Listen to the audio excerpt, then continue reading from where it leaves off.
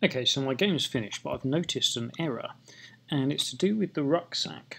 Okay, so I'm down here with my knight, and let's say I don't give the duck to the knight. Okay, so if I press say F to fight him, now the problem in our game here is he won't now give us the sword. Okay, because you've seen up here, um, if we select D to give him the duck, we append a sword to our rucksack. Okay, if we don't do that, we don't get the sword. So the sword isn't in our rucksack. Okay, now the problem for us then comes if we choose um, option S. So this is the next bit where we're in the in the pub. We choose option S, which means we then have to remove the sword from the rucksack list. Now, what we will have is because the sword isn't in there because of the option we chose previously, we'll get an error.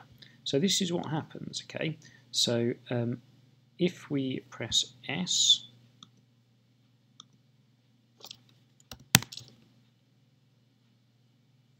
okay, you can see there we're getting an error because there, there isn't a sword in the list because we didn't get it in the last um, option. So we're going to have to do something about that. Um, so what we can do is we can use something similar to what we used down here. Okay, so we can say um,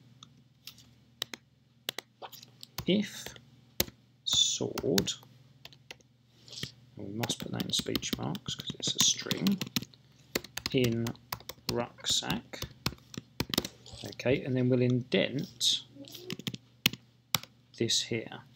Okay, so if sword in rucksack, remove sword. Okay, now we don't need an else statement after this because nothing else will happen. All we're saying is if the sword's in the rucksack, then remove it. If it's not, just go on and check the lives, and then if the lives are okay, go on to the next part of the game. Okay, so we're just using the if sword in rucksack. Now again, we'd need to do that down here because you can see if we choose this option, it will try and take out a sword, and if the sword's not in the um, rucksack, then we'll get that error. So let's do if sword in rucksack, and then colon, and we'll just indent the sword, okay? Because again, it's going to check if the sword's in there. If it is, it will remove it. If it's not, it won't throw up an error. It will just go on to the next stage here.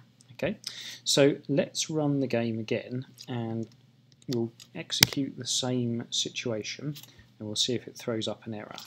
Okay, so we'll get through our rabbit and old crone. Uh, he and kill the rabbit. Okay, now this time we don't want to get the sword again. Okay, so we don't give him the duck, we'll fight him. Okay, and then this time we do want to see if this works, so we need to select um, S, okay, because then that will check if the sword's in there. So last time this threw up an error, let's see what happens. Okay, cool. So although my text isn't quite right, you hand over the sword. Okay, and I've spelt it wrong.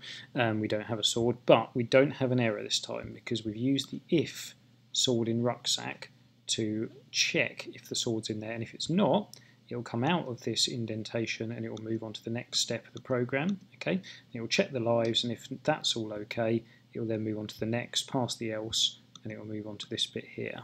Okay, which it has done because it's displayed what's in our rucksack. Okay, so it's worth to going through and any little bugs or errors like that, see if you can find out how to solve them. That might be a way to do it.